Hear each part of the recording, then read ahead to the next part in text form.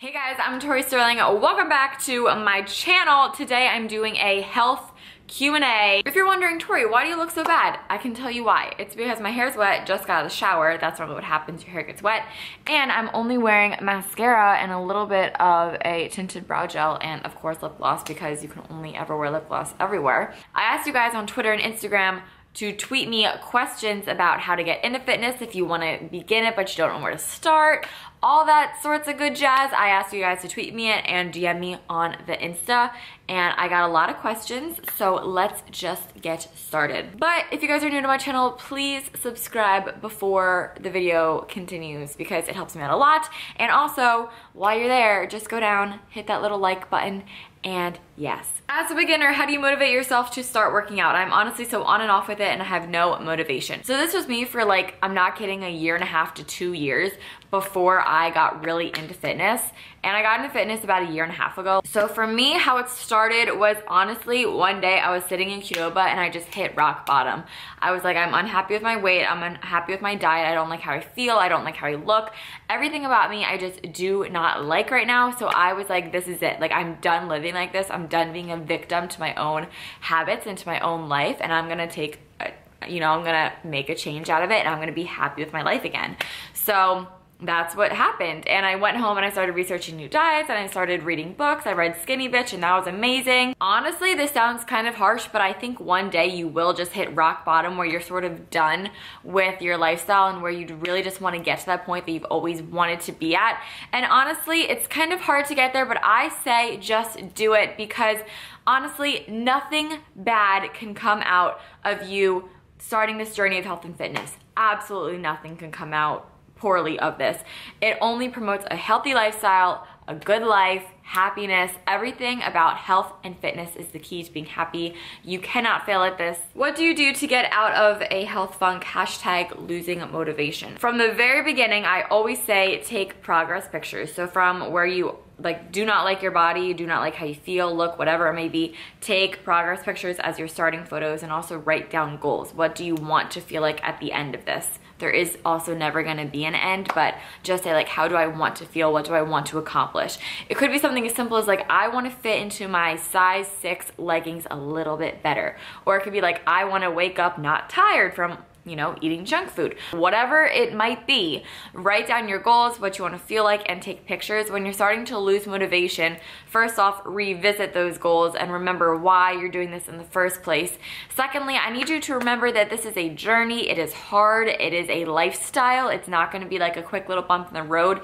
Um, but once you start and you get addicted to it, you're not want to stop. Trust me there. Remember that it is hard work. And even though like sometimes it feels like you're not getting to see any results, that's probably because you're just starting out. Um, so keep at it. Go, go with it for two more weeks, then one more month. You know, just keep working and then you'll see your own results and then you will be your own motivation because once you see results, it makes you just want to keep going stronger and harder and better and eating healthier and cleaner. Just keep doing it until you start seeing a little bit of results and you will want to keep going. I promise. You just have to really push through. That first month is the hardest the second month gets easier. How to be confident in the gym. Okay, this is very tricky. So the first thing that I recommend is to just put yourself out there and just go. No matter whether it's a spin studio or an actual gym itself or a new workout class, whatever it might be, just go. Because everybody had to step foot in a gym for the first time at some point in their life.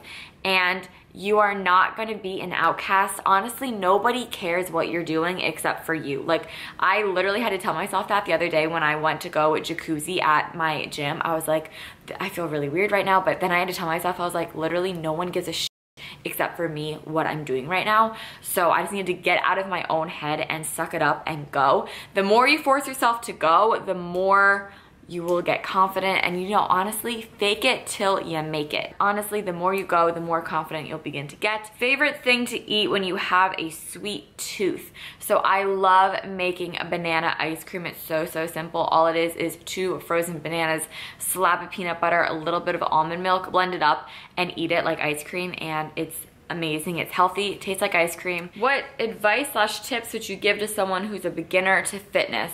So I would say keep going and keep doing it. I know that it's like this new intimidating world And oh, that's another thing, never stop learning because there's always something. Also, it really helps if you have a buddy, whether that's your mom, your best friend, I don't know. I would say never stop learning, keep going to the gym, keep going to your workout classes, keep trying healthy foods, find what you like, find what you don't like, experiment a little bit, play around a little bit, get a little crazy here and there. But honestly, you just have to start. That's the biggest thing is to just start and stick with it. Don't give up on yourself. Give yourself like 30 days of a totally healthy lifestyle change. And I promise you, you will be hooked and you won't want to stop because you'll feel how amazing you feel. And that's motivation in itself to keep on going. How do you stay healthy and find time to exercise during school? When you're starting to get really busy. So I'm gonna do an entire video on how to stay healthy in college because a ton of people ask me that. But to like quickly sum it up, um, you make time for what you want to. So if you wanna go to the gym or you wanna go on a run or you wanna do like a dorm room fitness thing or whatever, but you're starting to get really busy, wake up a half an hour earlier and just to do a little in the dorm workout or go on a run. You make time for what you want to, whether that means waking up an hour earlier, 30 minutes earlier, like you're gonna prioritize it if you want to. If you wanna work out that day, you are going to. So like just like how you would prioritize like taking a shower, it's like look at the gym or look at working out as part of like your hygiene routine. Like it's good to do for 30 minutes a day, 20, 30 minutes just to keep yourself hygienic and um, Like it should just become a part of your routine. Obviously it's important to eat healthy all your life, but at what age would you say you really need to focus on your fitness and foods you're putting into your body? I feel like that's important because everybody when they turn like I feel like every mom is like fit and like goes to the gym and tries to eat healthy but everyone's like when do you like hit that point in your life where that's like your new new so for me my mom growing up always fed me very well, very healthy, always kept me very active. So as a kid, I learned that like that's like the way to live your life.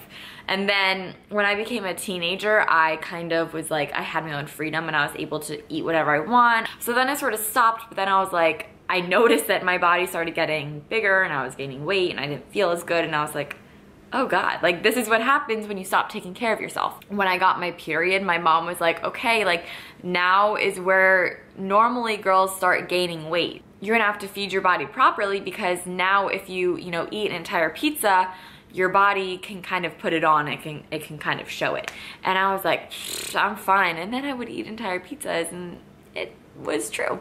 So for me, I would say you have to start young because that's just how you grow up. But if, I mean, obviously we're all older than young now. So I would say when you start your period is when you really should begin to eat your healthiest. And that's just because that's when your body's going through changes in puberty. And that's when your metabolism tends to begin to slow down.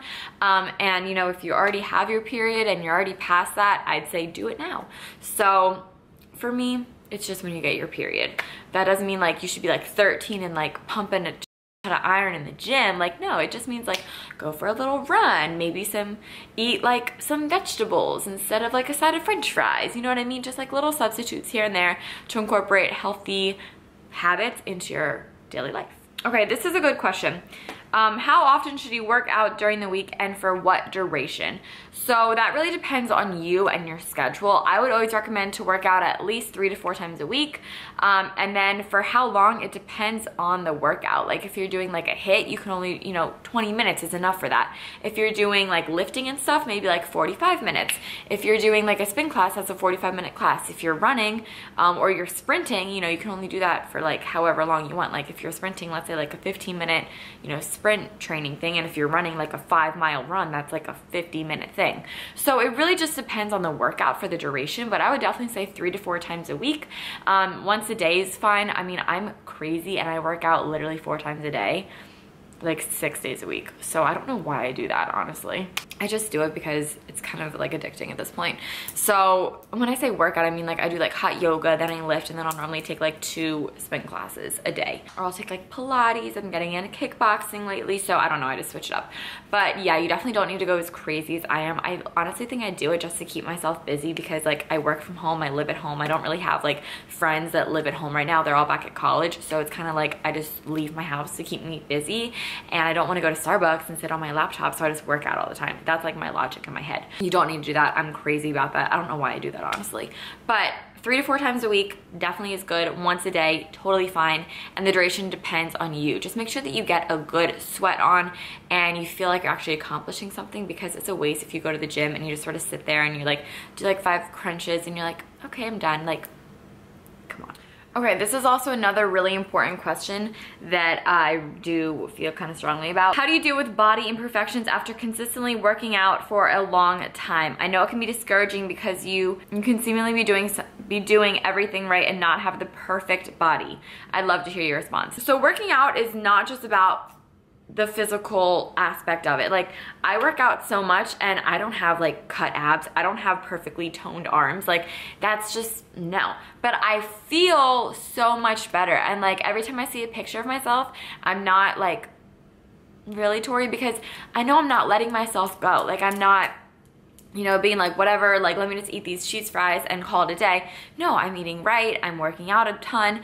So even though it can be discouraging that you don't have the perfect body, I just want you to remember that all the Instagram models that you see or, you know, Kylie Jenner, a lot of times, they're either photoshopped or they know how to pose their body right. No one has a perfect body because everyone has the idea of what a perfect body is. Like it's very personal. Like for me, if I could sculpt the perfect body, it's totally probably not what you would think of as the perfect body.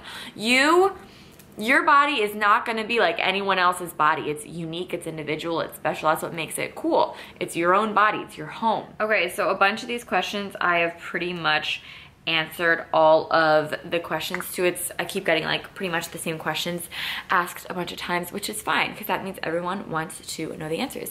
But I think I answered them to the best of my ability. So that is it. I hope you guys enjoyed this video. I hope it helped you out in some way. Um, comment your biggest health tip for any beginners that are watching this vid and want to know how to get started. Love you guys. Thank you guys for watching even when I looked like a little drowned rat. Love you guys and I'll talk to you in my next video. Subscribe. Goodbye.